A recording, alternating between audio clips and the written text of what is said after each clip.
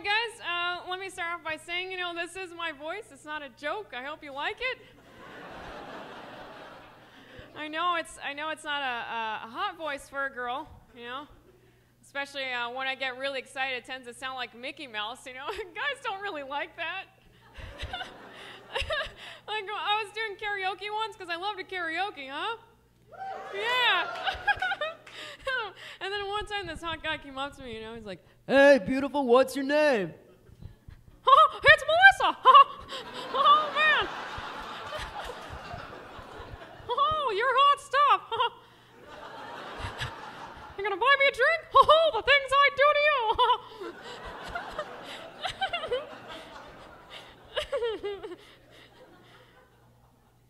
It's, it kind of stinks though, because uh, once guys find out that I, I do voices, they always want me to do the hot voice, you know, like the Paris Hilton voice. But I can't help it, help it if like a little bit of me pops out, you know? What do you want to do tonight, babe? Uh, maybe a bath or something. Ooh, yeah, what else? Ah, let's make some popcorn. What did I say about the voice?